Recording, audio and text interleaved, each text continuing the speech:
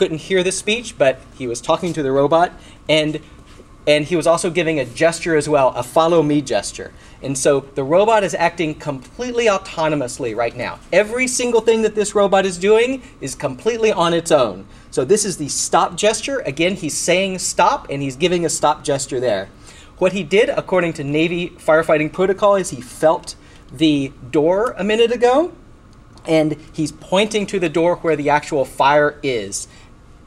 The robot is actually wearing um, a macaw fire extinguisher, and so it's a this is a human level. This is what human firefighters use as well, and she's going to spray the fire out with with her hands